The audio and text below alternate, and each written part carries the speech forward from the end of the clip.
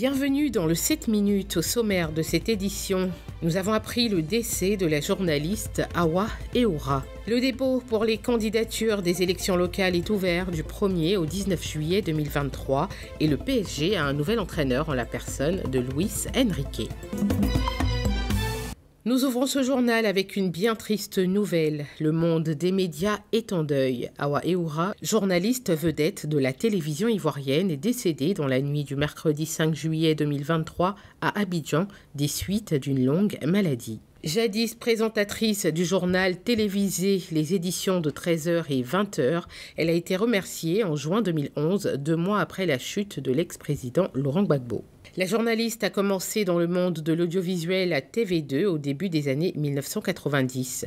Talentueuse, elle a évolué et est devenue directrice de la première chaîne et conseillère spéciale chargée de la communication de l'ancien chef d'État Laurent Gbagbo. Ayant appris la nouvelle, un ex-agent de la RTI et collaborateur proche de la journaliste Benjamin Kiefolo exprime sa douleur.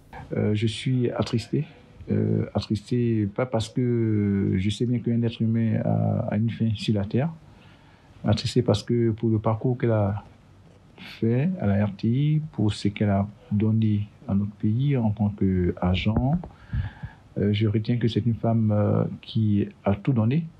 Et malheureusement, euh, tout a basculé quand il y a eu, je dirais, la crise en question et puis les conséquences de cette crise avec les effets collatéraux. On a tous subi ces effets-là.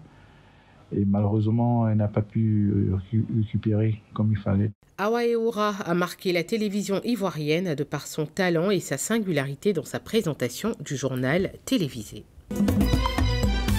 Le compte à rebours pour les élections locales du 2 septembre prochain est lancé. Le processus commence par l'ouverture du dépôt des candidatures à la commission électorale indépendante. Pour certains candidats, c'est l'occasion de se renseigner davantage sur le scrutin, comme c'est le cas pour Michel Zadi, potentiel candidat à la municipalité de Ouagayo. Je pars satisfait.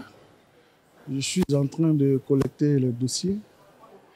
On a des soucis au niveau de l'attestation de régularité fiscale pour les candidats. On aurait souhaité qu'on nous facilite la tâche. Donc, je suis venu voir euh, le box qui va accueillir mon dossier, mes dossiers. Ouvert du 1er au 19 juillet 2023, ce sont au total 18 box répartis par région qui ont été installés pour accueillir les potentiels candidats et 150 agents, dont des maintenanciers informatiques, recrutés pour la circonstance. Pour rappel, le 11 août prochain, la CEI procédera à la publication de la liste définitive des candidats retenus. Les élèves maîtres de la 38e promotion du CAFOP de Mans ont tenu les festivités de fin d'année. Marraine de la cérémonie, Edwige Dieti a invité ses filleuls à plus de responsabilité et d'abnégation dans l'exercice de leurs futures fonctions. Chers filleuls, vous le savez, ce qui fait nation, c'est la qualité de ses ressources humaines. C'est donc la formation.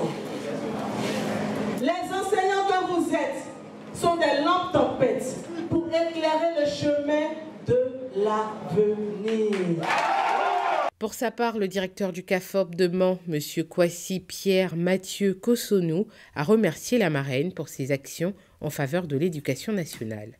Vos filles, rassemblés en ce jour devant vous, voudrais vous traduire leur profonde gratitude et surtout vous ressembler vous qui, à travers votre parcours professionnel, avez montré un bel exemple d'abnégation au travail et surtout de réussite au plan socio-professionnel. Au nom de ses condisciples, le président de la 38e promotion Yao Saint-Moïse Kouri a pris l'engagement de mettre en pratique les conseils de la marraine afin d'être des formateurs modèles. Et le Paris Saint-Germain a annoncé le mercredi 5 juillet 2023 la nomination jusqu'en 2025 de Luis Enrique, ancien entraîneur du FC Barcelone et de la sélection espagnole en remplacement de Christophe Galtier. Luis Enrique devient le huitième entraîneur du PSG depuis l'arrivée du fonds Qatari à la tête du club en 2011. Avec ses fermes convictions et son verbe haut, Luis Enrique a été recruté pour sa capacité à inculquer une philosophie offensive à ses formations avec beaucoup de possession, ce qui a particulièrement manqué au PSG ces dernières saisons. Voilà qui met fin à cette édition. Merci de l'avoir suivi. L'information continue sur cette info.